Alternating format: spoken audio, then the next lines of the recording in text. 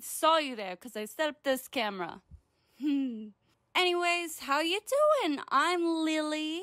It's really nice to meet you. Pretend we're shaking hands. We're in a pandemic sense, so we can't. But so again, like I said before, I'm Lily. So you may be wondering, Lily, who are you? Well, I'm a lot of things, I I think. I don't know. You know, sometimes I have a hard time with my identity, like many others I have met before in my past. My past. I haven't lived that long. I'm only 21. I don't know how much farther I'll get, but we'll see. So, what's this show about? What's Lily's show about? What are you going to do for me? What are you going to show me? Well, I'm going to show you a lot of things, okay? Going to show you a lot of good things. So, basically, what I want to achieve with this show is show you my lifestyle that I have lived. Um, for the past eight months. How long has this pandemic going on? Uh, let's say seven months. Let's just say seven. That's a good number. I like that number. So, anyways, let's just say seven minutes. So, for the past seven months, I've been living my life as though 2010 has never happened and further on years have never happened. Because my life went downhill after 2010 happened. I turned 11. That was a very hard thing to do. I didn't like turning 11, but it happened and I couldn't stop it because the concept of time had me in its grips. So, anyways, um, because like with this pandemic and with again my life going downhill, I just feel like it's just a good outlet for me to feel like this is just good. I'm reliving my childhood. I'm definitely not holding on to any trauma. I'm okay.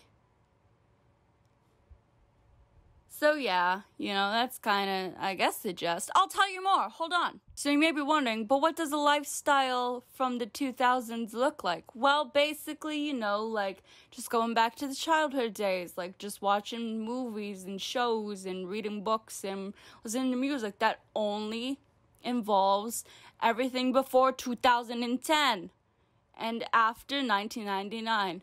Simple as that. Simple. And so that's basically it. I'd say it's pretty chill. It's a pretty simple concept, I'd say. It's pretty good. And so, also with this show, I want to say that I'm going to include a co host, but not a person because we're in a pandemic. I have to acknowledge this yet again.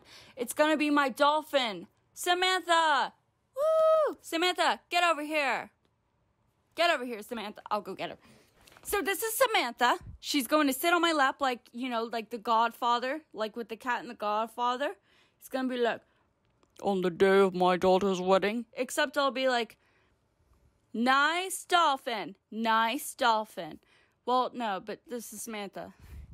I love her. Bye, Samantha. So, yes.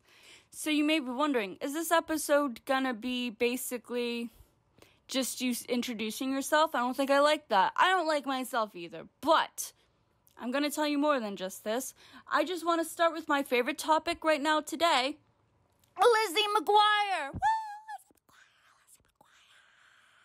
So let's start with why I really like Lizzie McGuire, and that's the only thing I'm to really talk about. Why Lizzie like why I like Lizzie McGuire. I'm not the Wikipedia artist of Lizzie McGuire, which I wish I was. So here's Lizzie. She sits by me all the time. Probably saw her over here before. She sits by me all the time. I like her a lot. Hope she's doing good. Hope she's doing good in life. So, I bet she is doing good in life. I bet you are. So, I'd say I really like Lizzie McGuire because of her style, the way she talks, the adventures she goes on with her friends. I really like that. I think it's a touching thing.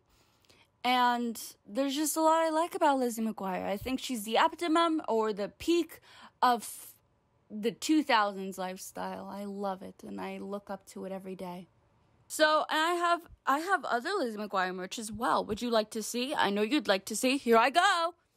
Here's a Lizzie McGuire DVD. This kept me going before Disney Plus added Lizzie McGuire. I was so depressed when Lizzie McGuire wasn't on Disney Plus. I was depressed for other reasons, but I was mostly depressed because Lizzie McGuire wasn't anywhere to watch. I didn't want to watch it illegally because I felt bad. I felt really bad.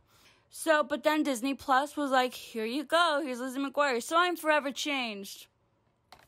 But I'll still hold this movie deep to my head. I also got one more piece of merch Lizzie McGuire Snow Globe. Listen to that water. Lizzie McGuire water. And finally, one more Lizzie McGuire thing for you to see. I must show it off. My Lizzie McGuire spooky season thing. A collage. Woo! Check it. Can you see it?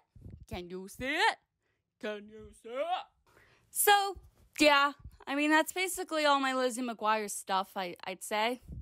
I don't know, I don't really have much to talk about recently, but I think living in this 2000s world is just pretty good. I'm a Barbie girl in a Barbie world. But I'm not wrapped in plastic, I'm free! Sorry, this video was all over the place. I was diagnosed with ADHD this morning.